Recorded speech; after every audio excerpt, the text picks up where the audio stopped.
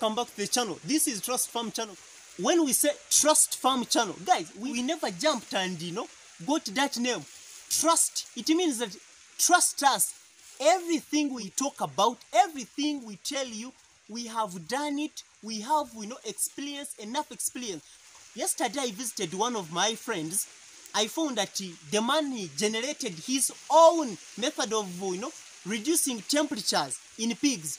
So, dear viewers, I remember I made a video where I was talking about uh, you know how to construct a cheap and affordable you know stay. We say that uh, this stay is cheap.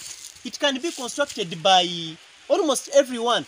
But guys, I just want you to note that everything has got um, disadvantages and uh, advantages. The moment you have yourself a stay like this, do not expect your pigs to get time for bathing. The moment you have the stay like this, it means that pigs are ever inside. So that man we are talking about, for him, what he did, he introduced his own method of bringing jerrycans and jerrycans of water, trying to power it on on two pigs, trying to destroy the timber. The timber were trying to rot, were breaking, poles were rotting. All right, so we have to note it clearly that this method does not apply here. The moment you want to reduce temperatures, maybe you are going to use the other, you know, other types of structures, but not this one, guys. The moment you have yourself this, do not expect bathing in pigs. But guys, another thing, uh, there is what we call warrowing.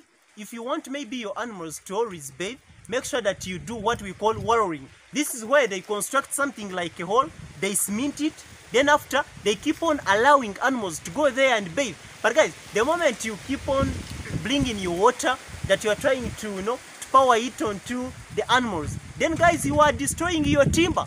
Your timber going to break. This stay can last longer, but the moment you do that, it won't even spend the one year. Poles are going to rot, and you find that your stay is getting down. Your animals are being eaten by animals. So, dear viewers, try to stop that. Till next time, bye bye.